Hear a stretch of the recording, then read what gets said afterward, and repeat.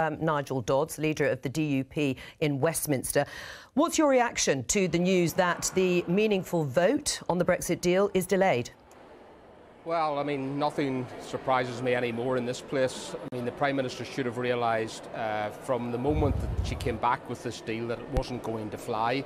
She persisted and persisted. She's been running around telling people as late as this morning that the, the vote would go ahead and that this was the only deal. EU wouldn't renegotiate.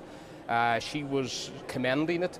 And now she's pulled it, and you know the only reason that she can pull it is to go back and try to get something better. I mean, quite frankly, it's a bit of a humiliation for her, and uh, but it's one that she's brought upon herself. Right. Do you still have faith in the Prime Minister?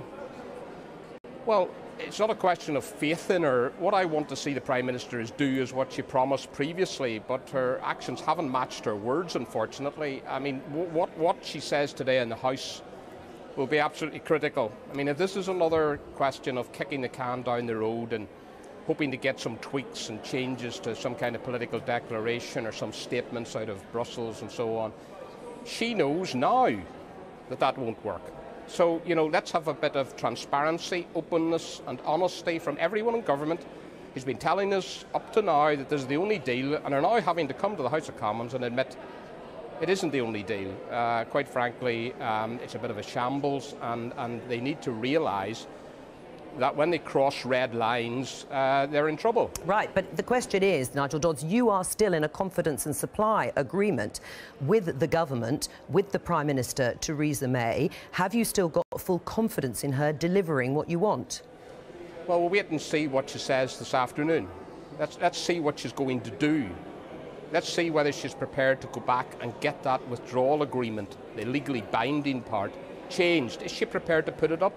To Europe and to, to the other governments that are holding the country to ransom at the present time because Europe needs a deal and the Irish government certainly needs a deal. Uh, but the terms of that backstop are totally unacceptable, as she must have known for some time and has delayed and delayed and prevaricated. So let's wait and see what she says. Okay. And that's it, and then wait and see what she does. Have you been in talks with Labour? No, the only talks that we have had with Labour were in relation to the contempt, the very successful moves that we and the Labour Party and others uh, managed to bring about last week in terms of the contempt motion because the government would, didn't want to publish the legal advice, and no wonder they didn't want to publish it. And I think that the publication of that legal advice has gone a long way mm. to reminding people as to the bad deal that this is. But in terms of any other discussions about the way forward, we haven't had any such discussions right. with the leadership of the uh, Labour Party. So you can rule out any discussions with Labour leadership or otherwise about a motion of a vote of no confidence in Theresa May's leadership? Yes. Right. Um, in terms of what you would like now, you want the Irish backstop taken out of the withdrawal agreement. The EU has said categorically that that is not going to happen. But Boris Johnson, the former foreign minister, says that's exactly how he would conduct the negotiations. Did you like uh, what you heard? Well, I, I, I, like what a lot of people in the Conservative Party are saying about the backstop, not just Boris Johnson. They, they, they see the dangers and the traps involved sure. in, in the backstop. But I'm asking you, did you agree with what Boris Johnson said when you heard him yesterday?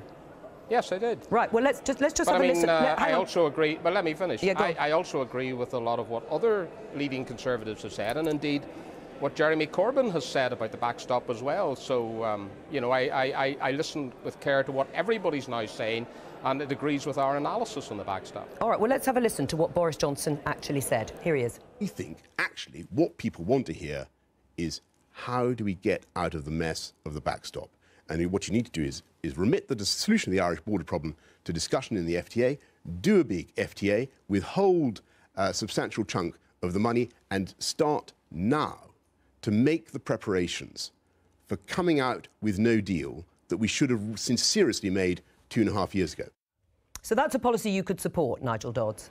Well, I think that what it does is makes best use of the time that we now have available. Uh, what, what, what, we want to deal with the uh, European Union, I mean, the DUP has always been very clear about it, but this whole process has been bedeviled since last December with concentration of negotiations on the fallback position a position entirely brought about by Theresa May agreeing to the backstop in the first place. So oh. I agree entirely.